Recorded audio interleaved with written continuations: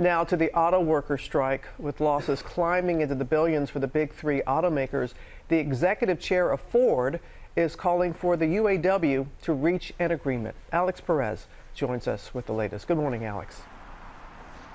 Hey, good morning, Robin. The strike is now in its fifth week, and the tension between the union auto workers and the automakers uh, shows no point of easing at this point, no signs of easing at this point. Now, the UAW is escalating what it calls its targeted strike against the big three automakers, putting an additional squeeze on Ford, having some 9,000 employees walk off the job at Ford's lucrative Kentucky truck plant last week.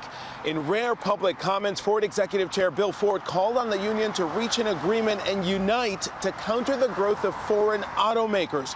But the union fired back, saying if Ford wants to be the all American auto company, they can pay all American wages and benefits. The auto workers are seeking a 40% pay raise, union representation at new electric battery plants, increased benefits, and more.